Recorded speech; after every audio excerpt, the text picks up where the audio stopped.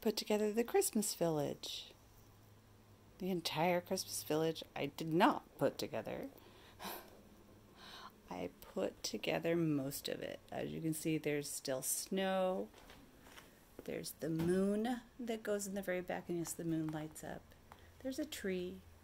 Here are the lights, lighting system for the entire village because I wanted to make sure that it all lit up with um, an easy switch. And if you look down here, you can see I haven't put up some of these little things.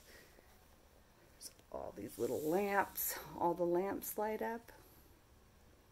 And I usually put the lamps along the little sidewalk. So, it's a little sidewalk. Little buildings the gazebo. Granny's down sitting by the gazebo, and you know it lights up and it's so pretty. And if you want to, you can go flower shopping. And right over here, we have a little house, a little tree house, and kids playing. I'm gonna come up and try to show you everything without killing myself. Came over here, kids are playing over here. And I come over there. There's the little tree house with the kids playing in the tree house. And that's for ice skaters, right in front of the castle. And if you pass this part of Snow Village and go across the tracks, You're going to see the barn grill. Little house back there, little yard, little fence. come around. So you guys can see the, the little yard and the fence. And look over here, the mountain. Some kids are playing little stream. It's a waterfall down the mountain. If I come around here, there's little steps that go up to here. You can see that the kids are playing in front of the schoolhouse. And there's little farmer's market right there. The one in front was flower shop.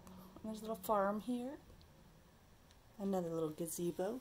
Now if I come back over here, that's a winery. Of course the winery has to be up on the mountain. And if we go past the polar bears, see if I can get the polar bears to come in focus. What is that? Why are there presents under the tree? That's because we're right at Santa Claus Mountain. So I'm going to come around here so you can see Santa Claus Mountain. Santa Claus Mountain. And of course, there's a little elf helping Santa take off. This mountain I actually created myself. I, um, it's, it's styrofoam. See icicles hanging from it, little trees. This part of the mountain, little trees. The trees come out so you can store it. The big trees do.